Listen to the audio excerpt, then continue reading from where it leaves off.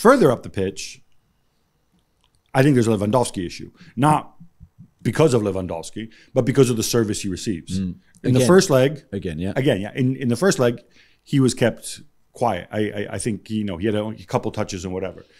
In this leg, yeah, he had the two goals, one at the end and whatever. But I feel like a lot of it was he had to create his own shots, and so this speaks to the supporting cast. And on paper, mm.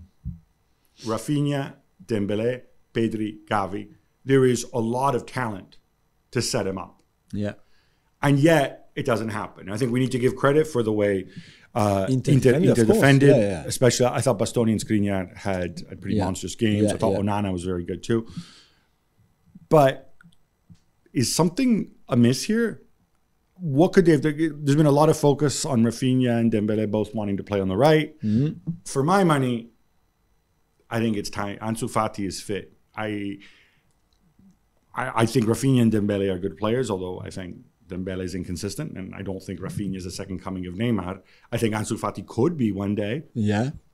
Why isn't he on the pitch Maybe. from the start? I mean, yeah, yeah. Maybe there's still uh, question marks, or maybe there's still a bit of a concern around his fitness if he was to play 90 minutes in a game of this intensity. You know, I think he might well play. Well, not the weekend because it's the classic. well, we sorry, we say a game of this intensity, and it turned into a very intense game. But you knew what the script was going to be. You knew the script Yeah, was going to yeah, be yeah. No, Inter that's true. defending and Barcelona a ton of the ball. yeah, that's true. If I have a guy who can win the one on ones, who's comfortable playing on the left, who is far less predictable than Dembele, I'm just saying Dembele and Rafinha are are, are predictable, but surely Ansu Fati gives you a different dimension Yeah, yeah, yeah. than those two. I don't know. Maybe we have we have we don't really know his current level. Maybe our training, you know, he's not performing. Maybe the the data that they have from training or from the 15 minutes, 20 minutes that he plays there and there are not convincing. I don't know. I did I did wonder yesterday why not bring him on earlier even. Um, the issue I have with Dembele and Rafinha is that, and we said it after the game at the San Siro last week, that there was just apart from the Dembele plan, there was no other plan. And I think that you can't just always cross the ball. He worked on Lewandowski's second goal. It was a good header, kind of. But but apart from that, in your patterns of plays with the ball, I don't think there's enough. There's enough. You don't.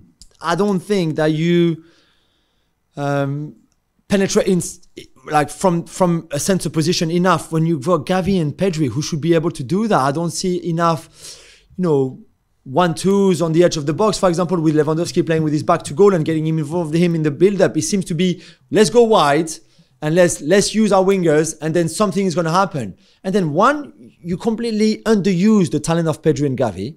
Completely.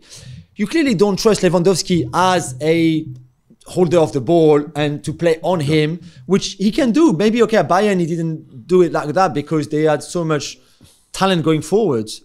But I just I just don't think I don't understand what Xavi is trying to do attacking wise. That's that's that's my worry. I mean, the the blueprint. You've got Lewandowski, one guy playing against three center backs, right? So Yeah. the basic blueprint is if the ball's on the right, then the other then the other guy comes in at the far post, and so we've got two people there.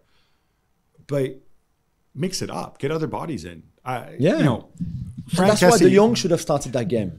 I'd also make a point that maybe Franck Kessie should have come in earlier. I'm not saying Yeah, you yeah, say drop Gavi or whatever, but if you're looking for a person who brings that level of physicality, which I think in a game like this you needed, uh, let's not forget Inter's midfield was Barella, who's extremely intense but is a little guy, little fella. Yeah, yeah. Mkhitaryan, who's a number ten who has to sit deeper, and Calhanoglu, who's a number ten who has to sit deeper in this Yeah. game, right? Imagine somebody with the strength and drive and intelligence of Franck Kessie Completely. just rampaging through there. Again, just give it a different look. And th- and there was none of that. It was almost like you're making a philosophical statement by by, by this this predictable passing the ball sideways, which It was very even, predictable. It doesn't even become passing the ball sideways. You And know, the- you, know, people have said, "Oh, Pedri and Gavi, oh, it's like Xavi and Iniesta." No, it's not. Oh, it's not not yet, because yeah. Xavi and Iniesta they were in the middle. Well, apart from the fact that a guy named Messi up front who created space for them, but they were in the middle of it all. Hmm. Here, with this obsession with the wingers, Yeah. and I'm sorry, we're talking about Rafinha here. We're not talking about Garrincha. No, you no, know, no, what, you're what- right, what are we right. talking about? You know what was interesting watching the game was how very, very rarely they use the half spaces. They did it well on the goal, and this, Mkhitaryan loses Sergi Roberto, and it's a good cross and it's a good finish by, by Dembele. But but it seems to me a little bit, and I don't want to be too harsh because they might win 3 0 the Classico, I don't know. But that a lot of the promises that we saw early on with Xavi in the use, the way they were using the ball, the way they were moving, is now gone. And that recruitment, we go back to squad like recruitment strategy, squad planning, etc. To have almost bought a very similar player to Dembele and Rafinha, that you've gone away a little bit of the good things that Xavi did earlier after arriving at the club. With the ball, I mean, and the use again of Gavi and Pedri, and I th- and De Jong even more. And I just think, not sure that's the right direction right now.